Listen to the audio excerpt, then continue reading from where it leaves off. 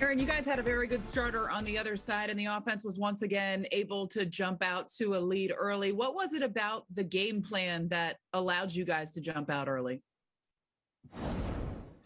Uh, really just honing in on, you know, a certain pitch you needed to drive. You know, Kikuchi's got a lot of different pitches that he can throw for strikes. He can throw, he can be deceptive. He can, uh, he can get, he can run that fastball to 95, 96, 97. You know, he's got a good split finger cutter, slider, everything, you know. So I think guys really just locked in on one of those pitches, you know, if it was a fastball cutter or the slider and, you know, try to do some damage on it when he got it.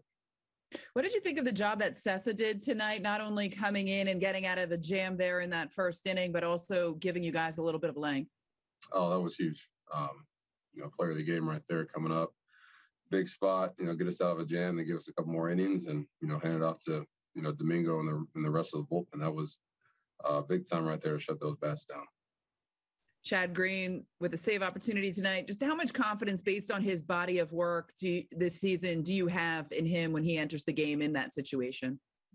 Oh, just over the past couple of years, you know, it doesn't matter if, if Greeny's coming in, you know, in the first inning of a wild card game, or if he's coming in, you know, seventh, eighth, ninth, it doesn't matter.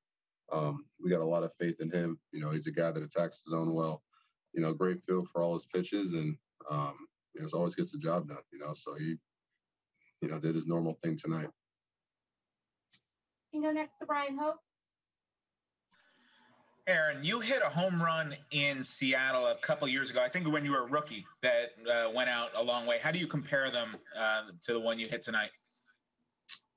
Um, you know, both on off speed pitches. Um, I'll, I'll take the one my rookie year, maybe a little more. It might have been a three run homer. I can't remember, but um, I'll take a three run homer over two run homer any day.